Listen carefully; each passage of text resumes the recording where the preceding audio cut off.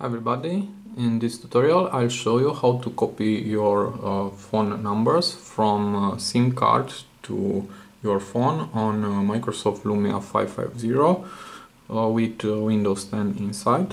For that just click on people and uh, as you can see we don't have phone numbers here, we don't have contacts.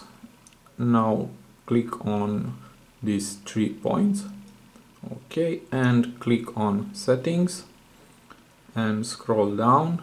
And here we have sim import from sim. Click on this. And now click on next. Now choose your contacts. Okay I choose them all. And click import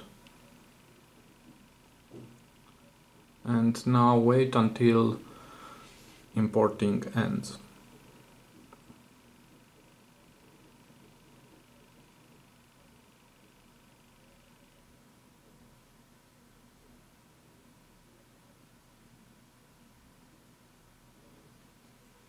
Okay, now it's over and click again on people and here is my contacts.